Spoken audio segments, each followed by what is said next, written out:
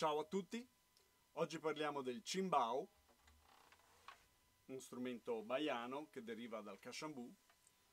Vediamo la tecnica di base spiegata a pagina 42 del libro.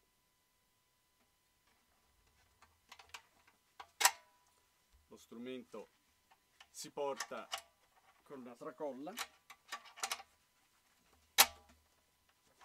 e adesso vediamo la tecnica.